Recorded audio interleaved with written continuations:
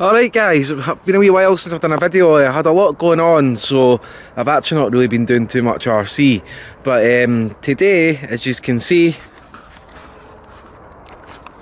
first snowy day of the year here so I thought I'd get a little bit of crawling done. So I've took out just for a little play my it's basically my Element Sendero uh, pickup but I've put a hard body on it. It's the Rockee I forgot the name of it but it's basically a Cherokee Jeep replica pickup body so I've got that on it, the lights on it, I'm running aftermarket Chinese cheap make tyres.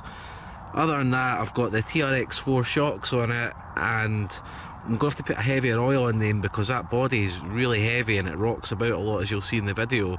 So there's not been a lot really done to it since last time I had it out but um, yeah I'll just show you kind of what's going on. Obviously most important thing, got my little Ric Flair figure in here if you can see him.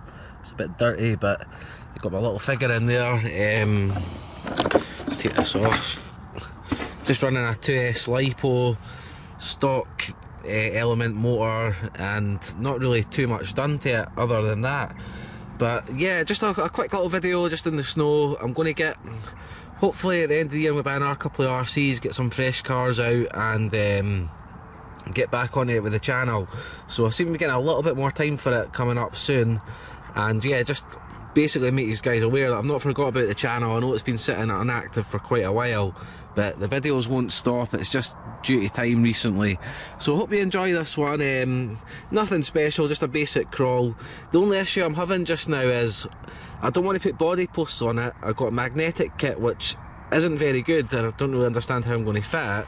So I've been running it really simple with um, double-sided sticky tape.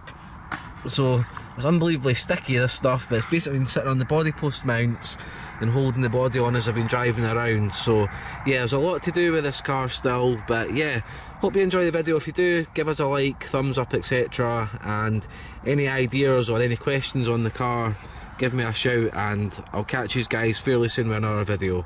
So off for a play and I'll catch you later on.